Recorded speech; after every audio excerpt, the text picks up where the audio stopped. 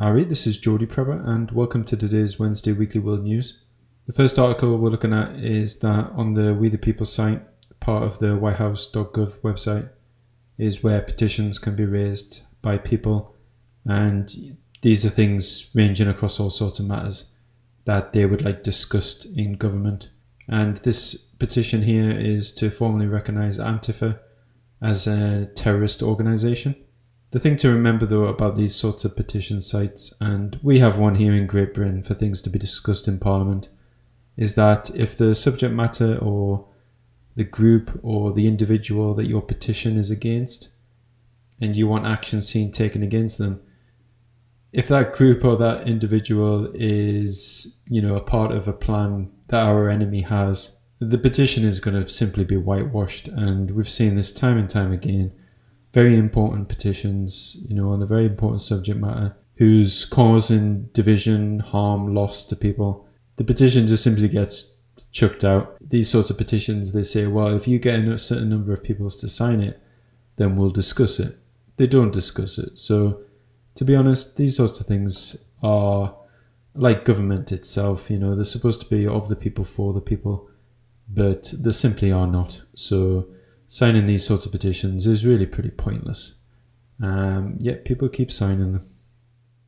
And cryptocurrency news now. So Bitcoin price has been going over four thousand dollars. It's been going over and then dipping slightly under, but it's certainly higher since the since the last hard fork. Certainly, if you had a lot invested in Bitcoin before the hard fork, you know your the return on your investment is going pretty good at the time. Like uh, the record high was $4,500 last week. You know, people are putting trust in these sorts of cryptocurrencies. Really, the people's trust in whatever medium of currency, you know, then that should be recognized as such and it should be free, open, transparent, and of course, there should be no central control over it, which is what people and why people are really going to cryptocurrencies because they don't want to get involved with the criminal fiat currency central banking system. You know, we've had enough of it. Its days are numbered. Its days are numbered simply by its design. But, you know, we can peacefully non comply with it and we can bring its demise forward, certainly. Or at least, you know, that would be the ideal situation. Concerning prepping, you definitely want to spread your wealth about. Get some physical gold, get some silver in your back pocket spread it around, you know, don't keep your eggs all in one basket. Give a few coins to relatives, friends, trusted friends. If you're in a group, you may want to pool together your currency, uh, you know, and get some coins, get some, and, you know, spread them out between the group. Get more than what you could individually. Yeah, use it as a collective resource you know, just don't put your, all your eggs in one basket. Spread your wealth about. Get some property. Get some land.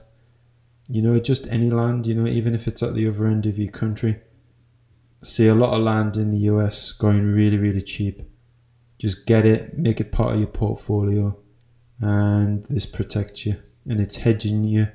It's hedging your bets against the fiat currency Ponzi scheme for when it collapses, which it will. It just gives you that bit more of a safety net. And I've literally just come across this um, article, but absolutely insane. You know, they want to control what we think, what we say, and now, of course, they want to control what we eat in public. And this is obviously about banning, you know, things in public that people are allergic to. Why are we seeing such an increase in allergic reactions to things? Allergies, allergic reactions, historically have never ever been a problem for humankind. But just have a start, maybe have a little look into the reasons why we're seeing such a massive increase in allergic reactions to things.